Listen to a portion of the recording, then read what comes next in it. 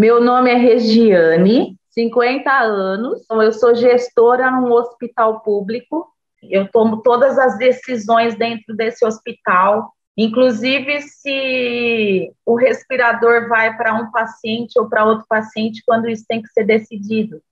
Eu sou, eu, eu sou a gestora da, de, de vagas de internações, né?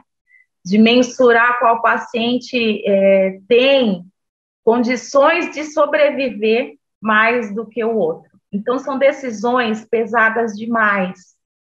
São decisões que, se eu não me policiar, eu, eu trago para minha casa, sabe? É, nem sempre, nem sempre não. Eu, vou, eu posso dizer que nunca eu sei se a decisão foi a melhor tomada, né? Porque não tem como você falar, ah, eu tomei a decisão certa.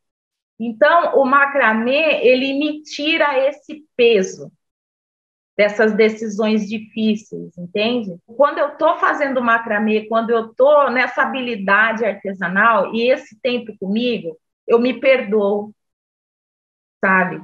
É, se essa decisão que eu tive que tomar não foi uma decisão tão assertiva.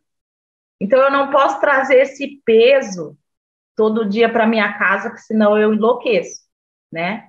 Então, o macramê, ele me centra, ele me deixa centrada, ele, ele, ele me faz lembrar que eu sou humana, ele me faz lembrar que, que eu preciso ter um tempo meu, um tempo para mim e me cuidar, para que assim eu possa cuidar melhor dos outros, né? Eu fico com o coração mais em paz.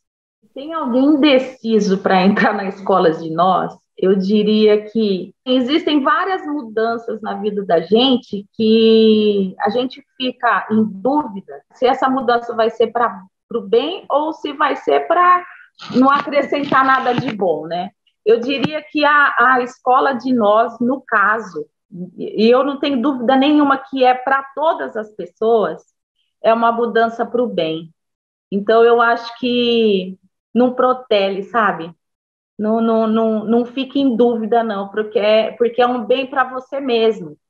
É uma terapia, na verdade, sabe? É, é, é tudo que a gente está precisando nesse momento, é, é uma terapia.